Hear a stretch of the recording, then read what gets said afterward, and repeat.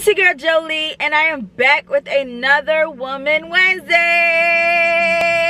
Let's fucking go, man. I'm bringing bangers after bangers after bangers, man.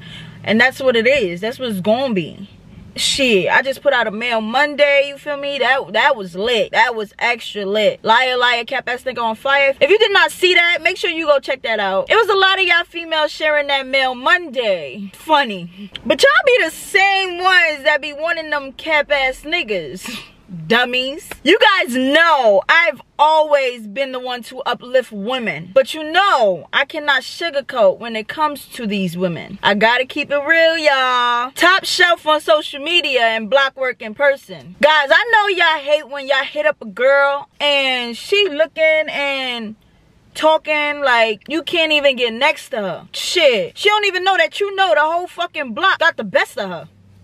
Then it's those half naked and it's like Shit, niggas don't even care to see the rest of her. I can't lie though. There's a lot of lit bitches on the gram. I can't take that from them. There's a lit ass chicks on the gram, y'all. They be lit as fuck on the gram, right? But little John John and Bree Bree always at grandma's house. Shit, always next to the niggas that's flashing 100k in the spot. Now we all know that flashing 100k and touching 100k is two different things, right? So bitch, just stop. That's right, you in the club with these popping ass niggas, ain't putting up nothing. Bitch, we know you a groupie. You must be a newbie. Cause you don't even know that them niggas over there betting on your coochie. Be careful, fellas. Her gram will make you feel like she got all her shit together.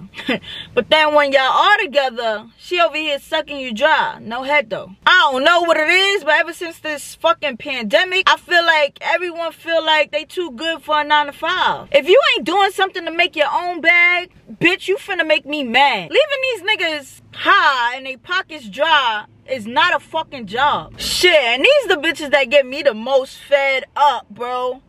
I ain't gonna lie, y'all bitches get me tight. Y'all know damn well sitting behind y'all phone, y'all face ain't right. Y'all know y'all don't look nothing like y'all picture, right? But y'all still got the nerve to be arguing with the first baby mama talking about she ugly and bald headed. Bitch, shut the fuck up and go at least fix your fucking credit. I ain't gonna lie, y'all gotta stop getting these fucking top shelf only on social media as bitches pregnant. Sorry, I gotta go more in depth for my ladies because you feel me? I, I am a feminist, y'all. Y'all understand. So, ladies, let's really stop and think. Really look into your life, bro. Like, you'd rather be lit on the gram than in real life, though? Y'all really rather be in niggas' faces and different brunches than getting your shit together and having a place for you and your kids to eat y'all fucking luncheon. Like, you get what I'm saying? Like, pay attention, y'all.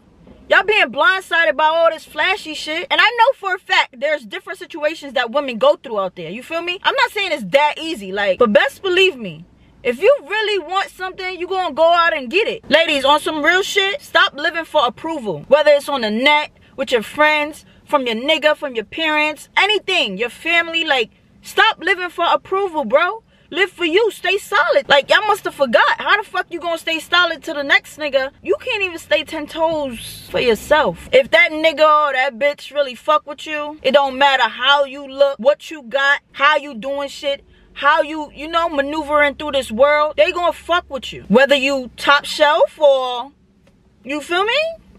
you just block work.